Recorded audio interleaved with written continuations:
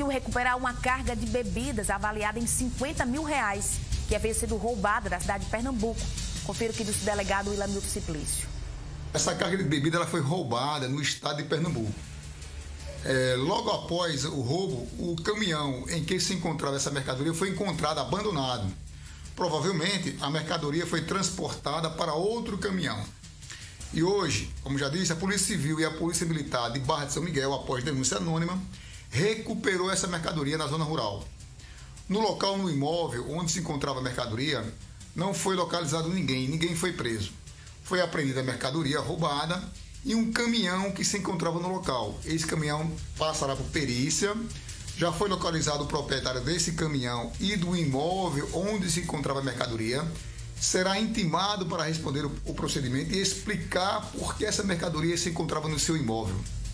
As investigações ficarão a cargo da Delegacia de Barra de São Miguel.